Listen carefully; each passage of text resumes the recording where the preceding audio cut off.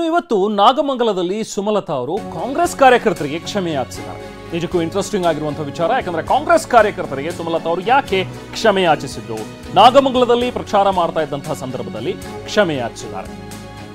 So ನನ್ನ ಕಡೆಯಿಂದ ಕೈ ಕಾರ್ಯಕರ್ತರಿಗೆ ಬೇಸರವಾಗಿದ್ರೆ ದಯವಿಟ್ಟು ನನ್ನನ್ನು ಕ್ಷಮಿಸಿ ಅನ್ನುವಂಥ ಒಂದು ಮಾತುಗಳನ್ನ ಇವತ್ತು ಹೇಳಿದ್ದಾರೆ. ಕಾಂಗ್ರೆಸ್ ಕಾರ್ಯಕರ್ತರು ದಯವಿಟ್ಟು ನನ್ನನ್ನು ಕ್ಷಮಿಸಬೇಕು, ನಿಮ್ಮ ಕ್ಷಮೆ ಯಾಚಿಸುತ್ತೇನೆ ಅನ್ನುವಂಥ ಒಂದು ಮಾತನ್ನ ಹೇಳಿದ್ದಾರೆ. ಇಪ್ಪತ್ತೇಳು ವರ್ಷಗಳ ಕಾಲ ಅಂಬರೀಷ್ ಅವರು ಕಾಂಗ್ರೆಸ್ನಲ್ಲಿದ್ರು. ಆದ್ರೆ ಕಾಂಗ್ರೆಸ್ ಪಕ್ಷದಲ್ಲಿ ನನಗೆ ಅವಕಾಶ ಸಿಗಲಿಲ್ಲ. ಸೊ ಹಾಗಾಗಿ ಬೇಸರವಾಗಿ ನಾನು ಪಕ್ಷೇತರಳಾಗಿ ಸ್ಪರ್ಧಿಸಬೇಕಾಯಿತು.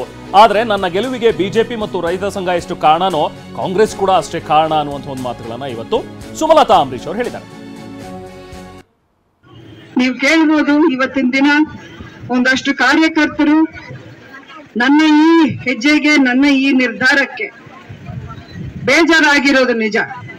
ನನ್ನ ಚುನಾವಣೆಯಲ್ಲಿ ಪ್ರತಿಯೊಬ್ಬರು ನನ್ನ ಪರ ಇದ್ರು. ಅದು ಕಾಂಗ್ರೆಸ್ ಇರ್ಬೋದು, ಬಿಜೆಪಿ ಇರ್ಬೋದು, ರೈತ ಸಂಘ ಇರ್ಬೋದು, ಇನ್ನು ಹಲವಾರು ಸಂಘಟನೆಗಳು ನನ್ನನ್ನ ಒಂದು ಬೆಲ್, ಬೆನ್ನೆಲುಬಾಗಿ ನಿಂತು ನನಗೆ ಆಶೀರ್ವಾದ ಮಾಡಿ ಶ್ರಮ ಪಟ್ಟಿದ್ರು.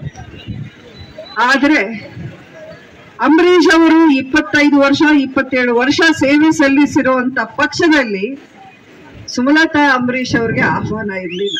ಅದು ನಿಮ್ಮ, ನಿಮಗೆ ಗೊತ್ತಿರಲಿ, ನಿಮ್ಮ ಮನಸ್ಸಲ್ಲಿ ಇರಲಿ. ಇಲ್ಲಿಯ ಕಾಂಗ್ರೆಸ್ ಕಾರ್ಯಕರ್ತರಲ್ಲೂ ನಾನು ಮನ, ಮನವರಿಕೆ ಮಾಡ್ಕೋತೀನಿ.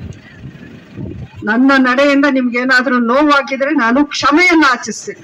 ಇಲ್ಲಿಯ ಕಾಂಗ್ರೆಸ್ ಕಾರ್ಯಕರ್ತರಲ್ಲೂ ನಾನು ಮನ, ಮನವರಿಕೆ ಮಾಡ್ಕೋತೀನಿ. ನನ್ನ ನಡೆಯಿಂದ ನಿಮ್ಗೆ ಏನಾದ್ರೂ ನೋವಾಗಿದ್ರೆ ನಾನು ಕ್ಷಮೆಯನ್ನು ಆಚಿಸ್ತೇನೆ. ಇಲ್ಲಿಯ ಕಾಂಗ್ರೆಸ್ ಕಾರ್ಯಕರ್ತರಲ್ಲೂ ನಾನು ಮನ, ಮನವರಿಕೆ ಮಾಡ್ಕೋತೀನಿ. ನನ್ನ ನಡೆಯಿಂದ ನಿಮ್ಗೆ ಏನಾದ್ರೂ ನೋವಾಗಿದ್ರೆ ನಾನು ಕ್ಷಮೆಯನ್ನು ಆಚಿಸ್ತೇನೆ.